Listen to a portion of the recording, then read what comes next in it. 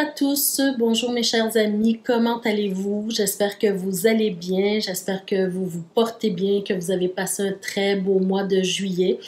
Et oui, le mois de juillet est déjà terminé. On se retrouve donc aujourd'hui pour les énergies générales et sentimentales pour le signe du bélier. Donc, bienvenue les béliers, bienvenue à tous les autres signes également. Alors, euh, je vais commencer déjà votre, tout de suite votre tirage. Simplement vous rappeler que vous détenez la clé de votre destinée. C'est vous qui décidez ce que vous faites avec les messages reçus. Donc, la petite clé ici qui est toujours présente pour vous rappeler euh, de garder votre pouvoir personnel et surtout de garder votre sens critique. Voilà. Alors, on commence tout de suite euh, avec euh, l'oracle de la triade pour voir dans quelle énergie, euh, peut-être ce mois-ci, on va débuter le mois, qu'est-ce qu'on doit appréhender. Alors, on commence tout de suite avec le bel oracle de la triade. On a la carte du retour, la carte de l'initiation et la carte bénédiction. Alors pour moi, mes chers amis, qu'est-ce que ça peut vouloir euh, signifier pour vous pour ce mois-ci. Donc, j'ai l'impression, je ressens plusieurs choses ici. J'ai l'impression que pour certains d'entre vous, il y aura le retour d'une personne ou de personnes significatives pour vous dans votre vie. C'est possible ici. C'est possible que cette personne-là ou ces personnes-là soit, euh, ça soit quelqu'un qui est cultivé, qui a beaucoup de connaissances, qui a beaucoup euh, d'instructions peut-être ici, hein, euh, ou bien c'est peut-être quelqu'un qui va euh, passer dans votre vie justement pour vous initier à quelque chose, pour vous apprendre quelque chose. Mais en tout cas, on voit que c'est soit la personne ou euh, l'apprentissage que vous allez en, retenir, hein, ressortir avec cet apprentissage-là, ça va être une bénédiction pour vous et votre vie. Donc, il peut s'agir de plusieurs choses hein, ici. Donc, c'est à vous d'adapter le tirage euh, à votre vie, à ce que vous vivez.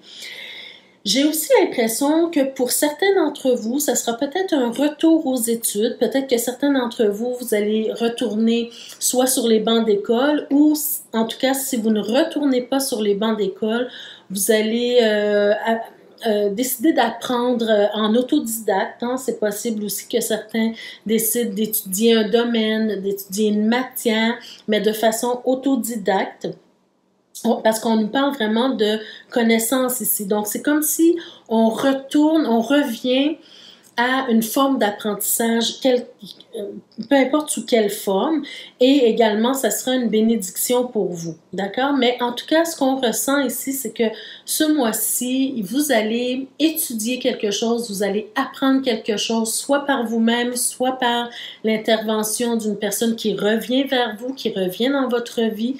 Euh, c'est possible que ce soit, de, ce soit des études, mais c'est possible que ce soit simplement euh, quelque chose de la vie au quotidien, d'accord, que vous apprenez, d'accord?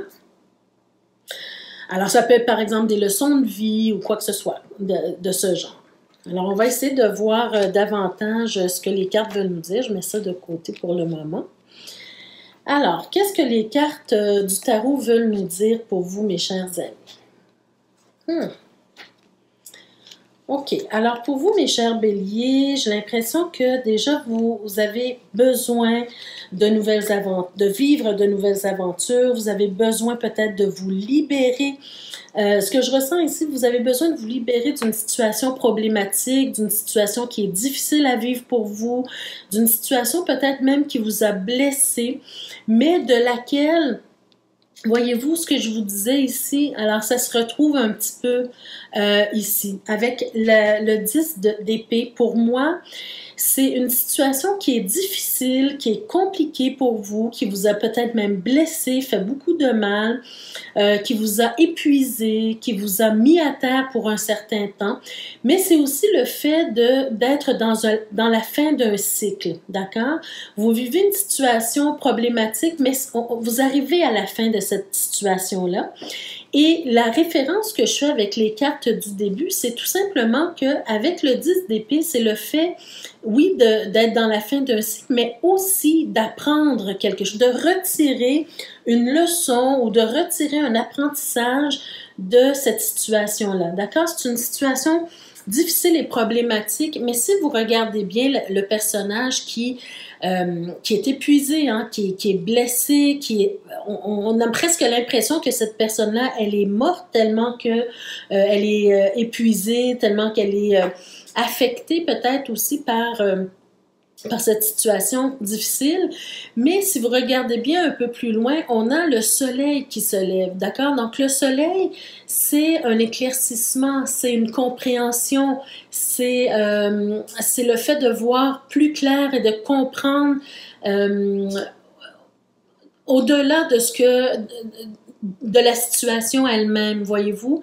Donc, vous allez comprendre des choses, vous allez retirer une leçon de cette situation-là mais c'est une situation pour laquelle vous allez devoir prendre une décision. Regardez avec la justice qui se présente ici, c'est une situation qui va vous obliger ou qui va vous forcer à prendre une décision qui elle-même ne sera pas facile nécessairement pour vous parce qu'on voit ici que vous êtes dans l'hésitation, vous êtes dans l'ambiguïté, euh, vous ne savez pas à ce moment-ci, peut-être en tout cas, ou en tout cas en début de mois, vous n'avez peut-être pas encore pris votre décision, vous avez euh, peut-être euh, besoin de prendre le temps de réfléchir, euh, peut-être même qu'avec le 2 de bâton, j'ai l'impression ici que vous souhaitez en fait que, parce que c'est au cœur de votre tirage, hein, le 2 de bâton, vous souhaitez peut-être que j'ai l'impression ici que ça, ça, ça, implique des gens dans votre entourage. Donc, ça peut être au niveau amoureux, ça, pour, ça peut être au niveau relationnel, ça peut être au niveau professionnel, peu importe, hein, même familial. Mais c'est comme si vous voulez amener quelqu'un à euh, avoir la même vision que vous.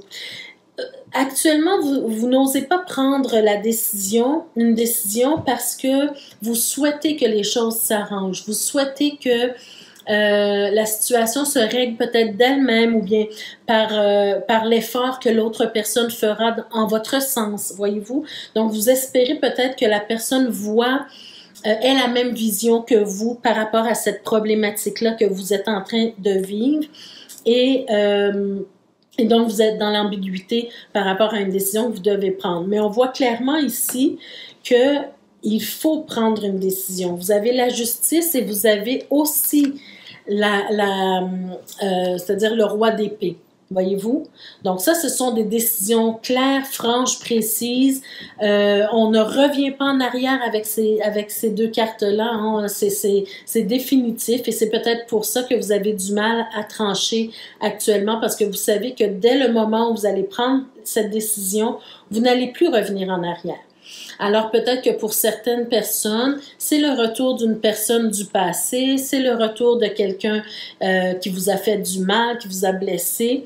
Euh, et là, euh, ça peut être par exemple si vous êtes en couple ou marié, peut-être que vous allez décider de vous divorcer, hein, parce qu'avec la justice, c'est quand même, euh, on nous parle de, de, de la loi, par exemple, hein, donc ça, de la fin d'un contrat, ça peut être un contrat de mariage, ça peut être un contrat professionnel.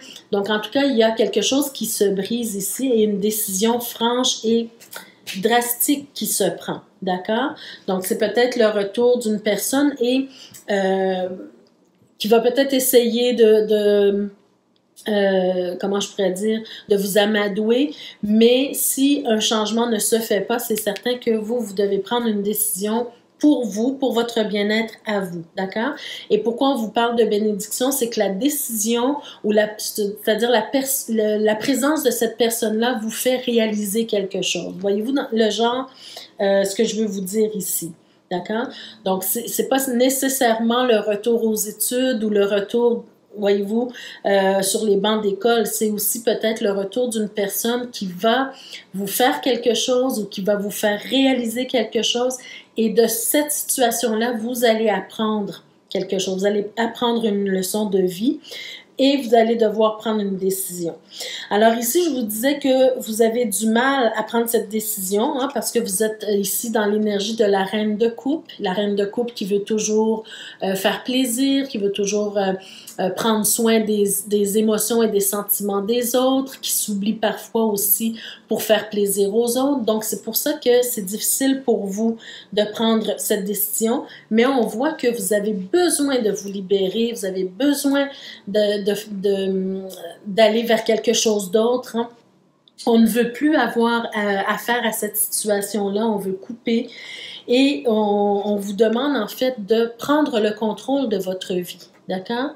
Même si vous avez de la difficulté à prendre des décisions, vous devez prendre le contrôle de votre vie, vous devez maîtriser euh, ce qu'il y a à maîtriser dans votre vie et surtout de finir par passer à autre chose. Donc, une fois que vous allez prendre votre décision, vous vous tenez à votre décision et vous avancez, vous continuez votre route euh, loin de la situation qui vous a servi peut-être pendant un temps, mais qui ne vous sert plus aujourd'hui. Voilà, alors vous passez à autre chose tout simplement. Donc, euh, c'est quand même un, tirage euh, assez préventif. Hein? Ça vous donne vraiment le conseil de vous choisir. Ça vous donne vraiment le conseil d'apprendre de, de, cette leçon de vie, de retirer quelque chose de cette leçon de vie. Euh, et, donc, il faut adapter le tirage à votre situation personnelle. Donc, pour certains, ça sera euh, le retour d'une personne dans votre vie qui vous a fait du mal ou qui vous fait encore du mal. Ça peut être un, conjoint, une conjointe, ça peut être un partenariat d'affaires, peu importe de quoi il s'agit. Une personne au niveau, même au niveau de la famille que vous n'avez pas vue depuis longtemps, mais qui revient dans votre vie, qui vous a blessé et qui revient avec les mêmes euh, schéma du passé, par exemple, alors là, il faut trancher et prendre une décision. Voilà. Alors, je, je voulais piger une carte euh, conseil. Il y en a deux qui sont ressorties, donc je vais les retourner toutes les deux. Alors, ben voilà, vous avez la carte de la dispute. Hein? Alors, voyez-vous, la carte de la dispute, elle vous montre en fait que si vous persévérez dans cette situation-là qui est toxique, qui est néfaste pour vous, bien, c'est sûr que ça va finir par apporter des disputes, apporter des, désaccords, des mésententes. Euh, ça ne vous fait pas avancer. D'accord? Ça ne vous fait pas avancer. J'ai l'impression ici qu'il s'agit peut-être d'une personne qui, au lieu de vous aider à vous élever, c'est quelqu'un qui vous tire vers le bas, qui ne vous permet pas de progresser dans votre vie. Et donc, c'est le moment de comprendre, de comprendre cette situation-là et d'aller de l'avant. Et la deuxième carte, ben voilà, vous avez votre réponse, les amis. D'accord? Et si on parle de rupture, comme je vous ai dit, ce n'est pas nécessairement une rupture euh, au niveau du couple, mais c'est une rupture de contrat, une, rupture d'amitié, une rupture de même euh, quelqu'un au niveau de la famille qui ne convient pas à votre vie. Des fois, on doit faire, on doit couper les ponts, on doit mettre de la distance avec certaines personnes parce qu'elles ne vous aident pas à évoluer, à grandir ou même à être bien dans votre vie. Donc, il y a une coupure ici à faire. Pour moi, c'est clair que avec la, justice, le roi d'épée et le 8 de coupe, c'est une décision drastique, définitive que vous devez prendre pour votre vie. Alors, je suis consciente que ce ne, ce ne, sont pas tous les béliers qui vont vivre cette situation-là, mais essayez vraiment, revenez sur le tirage pour pouvoir euh, voir dans quel domaine vous avez une leçon à tirer, dans quel domaine vous devez trancher, prendre des décisions, dans quel domaine vous devez couper des ponts ou couper euh, un schéma répétitif, par exemple. Hein. Donc, de reprendre le contrôle de votre vie ici, mais de sortir des émotions, vraiment d'être dans la logique des choses pour vous, mes chers béliers. D'accord? Alors, euh, on va y aller maintenant avec le tirage sentimental pour les béliers. Je vous conseille vraiment d'aller voir euh, les tirages euh, de votre signe ascendant, votre signe lunaire également, pour pouvoir avoir un complément d'information, mes chers amis. Alors, on y va tout de suite avec le tirage sentimental pour les couples d'abord. Donc, pour les couples, mes chers béliers, on commence avec vous. Alors, on a le serpent, on a l'arbre, on a le monsieur. OK.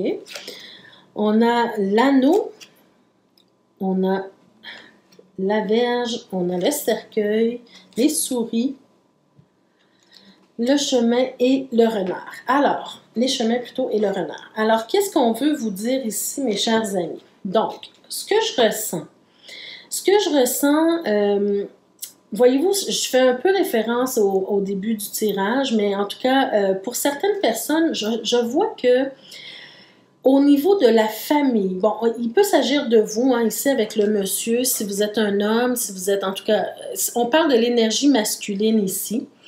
Donc, quelqu'un dans la famille de, de ce personnage-là, que ce soit vous ou, euh, par exemple, votre conjoint ou conjoint, quelqu'un dans la famille de, cette personne-là euh,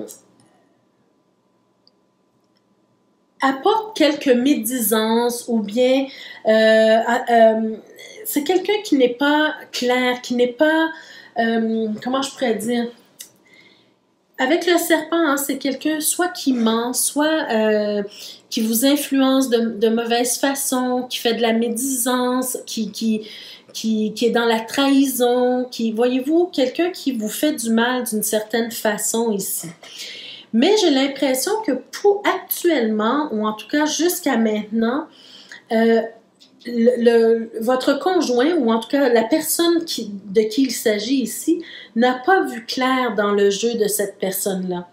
Et ce qui fait que ça apporte des conflits dans votre, dans votre relation de couple. D'accord?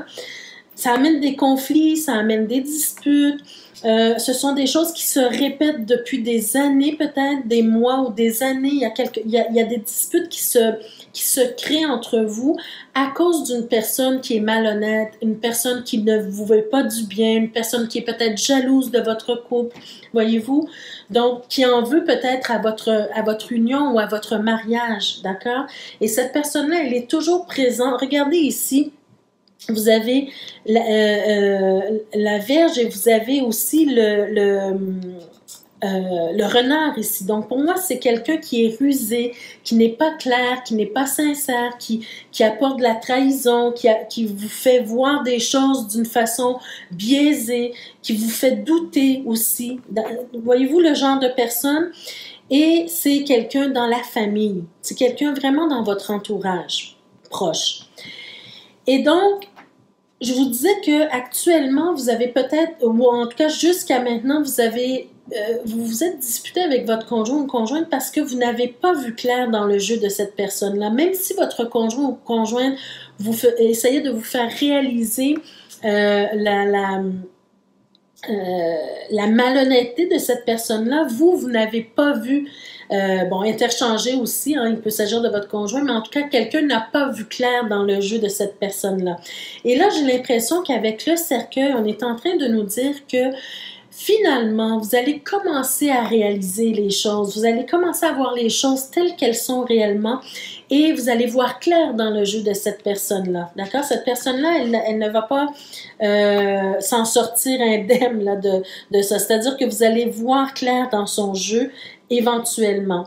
Mais par contre, avec les souris, bon, on nous montre que ça vous apporte beaucoup de disputes, de soucis au niveau de votre couple. Alors ici, il va falloir vraiment euh, décider ce que vous voulez faire pour votre couple. C'est-à-dire, est-ce que vous, allez décider, parce qu'il s'agit de vous et de vos décisions, est-ce que vous allez décider de resserrer les liens de votre mariage ou de votre union pour combattre cette personne-là? Et quand je parle de combattre hein, au niveau psychologique, pour combattre cette personne-là. Donc ça, c'est un choix que vous allez devoir faire parce que vous pouvez choisir de fermer les yeux, de toujours fermer les yeux sur la situation et de ne rien faire, hein, de ne pas entrer en action pour régler la situation. Vous pouvez fermer les yeux, vous pouvez vous taire, vous pouvez encaisser, encaisser endurer la situation comme elle est présentement, ou vous avez le choix aussi de dire, moi, je ne veux plus avoir de soucis dans mon couple, je ne veux plus avoir de disputes dans mon couple, je veux un couple serein, je veux un couple épanoui. Alors, je resserre mes liens avec mon conjoint, avec ma conjointe, et je vais de front devant cette personne-là pour régler la situation. Donc, ça peut être de dire, je coupe les ponts avec cette personne-là s'il le faut. Je, suis franche avec cette personne-là et je lui dis, je vois clair maintenant dans ton jeu. Maintenant, tu ne réussiras plus à nous disperser ou à nous diviser en tant que couple. Ça ne sert à rien d'essayer maintenant, je vois clair dans ton jeu. Ou tout simplement de fermer les yeux. Donc, c'est votre, votre, votre choix ici. C'est ce qu'on est en train de vous dire ici. C'est vous qui décidez euh, de la santé de votre couple. D'accord? Donc, il faut prendre soin de votre couple si votre couple est important pour vous. Voilà, mes chers amis. Alors, on va voir avec euh, avec le, ah, pardon, j'allais dire l'oracle de la triade, mais avec l'améthyste love, qu'est-ce qu'on nous dit davantage? Alors, voyez-vous, vous avez la carte de la sagesse, donc il faut faire preuve de sagesse dans cette situation-là. La sagesse ici, c'est d'abord et avant tout d'accepter la situation telle qu'elle est, c'est-à-dire de reconnaître plutôt la situation telle qu'elle est. Si, par exemple, c'est quelqu'un de votre famille qui, euh, qui fait des médisances, qui vous trahit, peu importe, ou qui vous apporte de la négativité dans votre couple, mais c'est d'abord et avant tout de reconnaître la situation telle qu'elle est, de de reconnaître que oui, c'est vrai que cette personne-là, elle est néfaste pour notre couple. Voyez-vous? Donc ça, ça fait partie de la sagesse, d'accord? De bien raisonner par rapport à la situation, d'accord? Ensuite, vous avez euh, la carte, il faut rester patient. Alors, rester patient ici pour moi, euh, ça vient vous dire en fait que c'est une question de temps, en fait, avant que vous voyez clair dans cette situation, que vous voyez clair dans le jeu de la personne. N'oubliez pas, vous avez quand même le renard. Hein. Le renard, c'est quelqu'un, c'est un personnage qui est rusé, c'est quelqu'un qui est capable de cacher la vérité, c'est quelqu'un qui est capable de faire, de, de passer par toutes sortes de ruses pour pour vous, euh, pour vous envoûter, si je peux dire ça, avec le serpent, hein. pour vous envoûter, pour vous empêcher de voir clair. Voyez-vous, c'est quelqu'un qui est capable de vous emmener à, penser des choses qui ne sont pas réelles pour euh, arriver à ses fins. Donc, c'est une question de temps. Ici, on nous parle peut-être de deux mois, mais avant que vous ne voyez clair dans le jeu de cette personne-là. Voyez-vous? Et vous avez finalement, ben, vous êtes bien chanceux, vous avez le, chanceux, chanceux avec l'effort que ça, que ça prend.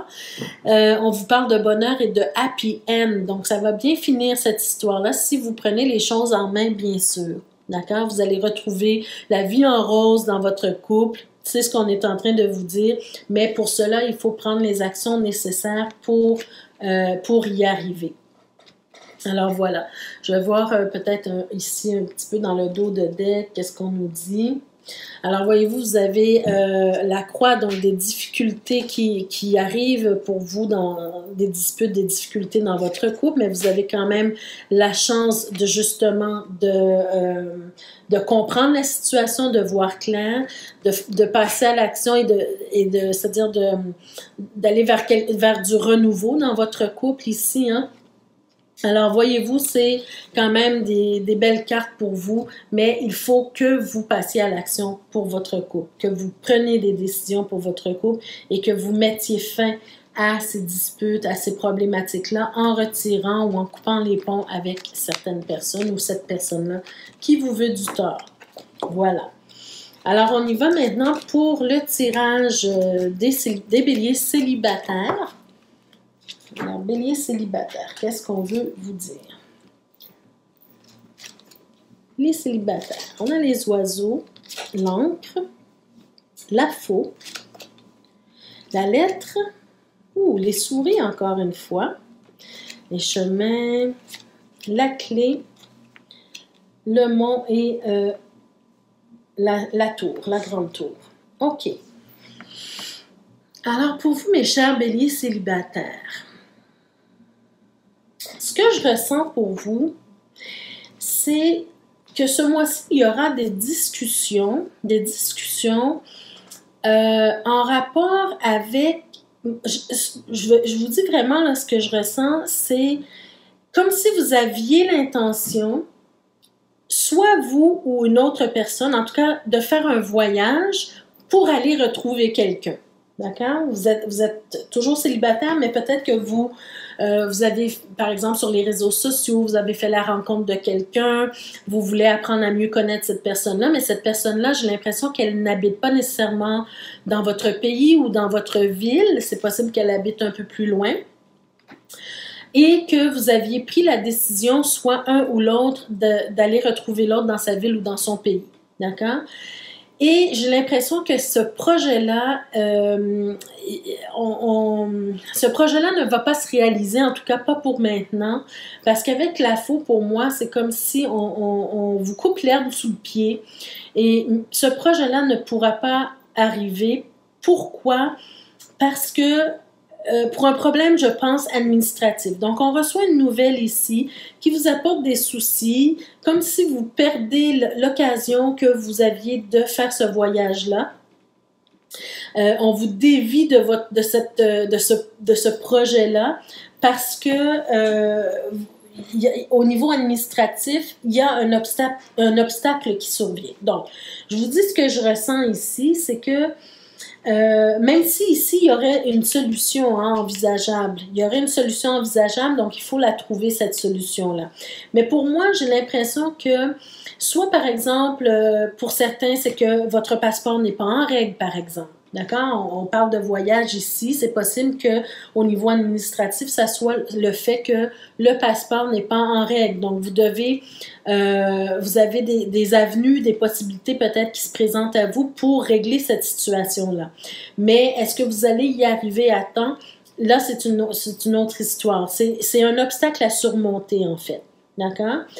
Alors, c'est un exemple que je vous donne par rapport au passeport. Ça peut être aussi euh, par exemple, pour si vous êtes étudiant ou étudiante, vous avez euh, passé euh, un examen de fin d'année et vous n'avez pas réussi, vous recevez la communication pour vous dire que vous n'avez pas réussi l'examen, par exemple, et que vous devez reprendre l'examen. Donc, le projet que vous aviez en tête de voyager pour aller retrouver quelqu'un ne pourra pas se faire ce mois-ci, ce mois au mois d'août, parce que vous avez un examen à reprendre. D'accord? Donc, encore une fois, la même chose. C'est un, une solution que vous devez trouver. Vous pouvez peut-être vous arranger avec l'administration, peut-être pour euh, leur demander, par exemple, de faire l'examen en septembre, de faire l'examen en ligne. Euh, peu importe hein, la solution que vous allez trouver. Mais ici, il y a vraiment un obstacle à surmonter, des soucis. Euh, c'est vraiment un obstacle à votre projet de rencontres, de retrouvailles ou quoi que ce soit. Et il va y avoir beaucoup de discussions autour de ça. D'accord? Mais on sent l'urgence quand même de prendre une décision, qu'elle soit positive pour vous ou moins rose, mais euh, il y a quelque chose qui, que vous devez surmonter par rapport à ça. D'accord? Alors, actuellement, je suis pas en mesure de vous dire si ça va se produire parce qu'ici, on, nous, on a quand même, on nous parle de choix ici, on nous parle de, euh, direction à prendre, on vous parle de... Euh, c'est comme si on est, en train de nous dire ça dépend de vous et ça, ça ne dépend pas que de vous. D'accord? C'est, c'est comme si vous devez trouver une solution, mais euh, avec l'aide de quelqu'un d'autre ou avec, avec l'aide de l'administration ici, quelle qu'elle soit. D'accord? C'est un peu ce que je ressens pour vous ici.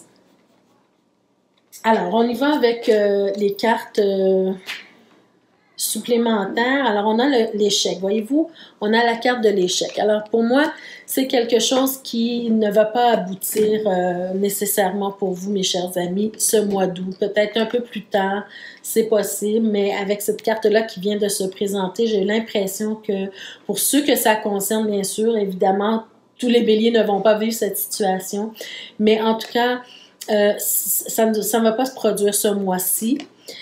On a la carte de la bonté, par contre. Alors, pour moi, euh, cette carte-là, pour moi, elle vient pour dire que si c'est vous qui deviez faire le voyage, vous étiez bien intentionné, d'accord? Votre, c'est pas un mensonge que vous faites à la personne ou vice versa. Hein? Peut-être que vous allez penser, si c'est la personne qui devait venir vous rejoindre, vous allez peut-être penser que ah finalement euh, elle me dit qu'elle a cet obstacle-là dans sa vie, mais c'est pas vrai. Euh, peut-être que elle, est en, elle me ment parce qu'elle ne veut pas me faire de la peine, par exemple. Voyez-vous ce genre de, de, de pensée que vous pourriez avoir, mais ici, on vous dit que soit vous ou l'autre personne, vous étiez bien intentionné, vous voulez vraiment faire ce voyage pour vous retrouver, mais vraiment, il y a un obstacle qui survient, ça ne peut pas se produire pour le moment. Et voyez-vous, vous avez la carte de la sincérité. Alors, pour moi, c'est clair ici. Si vous avez dans votre tête que la personne n'avait pas vraiment l'intention de venir vous voir, par exemple, bien, vous pouvez enlever ça de votre tête tout de suite. On voit vraiment la bonne intention, mais à la dernière minute, quelque chose s'est produit on a reçu une mauvaise nouvelle, c'est-à-dire une mauvaise nouvelle nous disant que ça ne sera pas possible euh, de reprendre l'examen, par exemple, ça ne sera pas possible de voyager tout de suite parce que euh, il y a des décisions au niveau administratif qui, euh, qui font en sorte que les voyages sont annulés ou quoi que ce soit, ou peut-être votre passeport n'est pas en règle. Voyez-vous ce genre de choses ici? Donc, à cause de cet obstacle-là, vous recevez cette nouvelle qui vous dit que ce n'est pas possible pour le moment. Alors, euh, on remet ça à plus tard.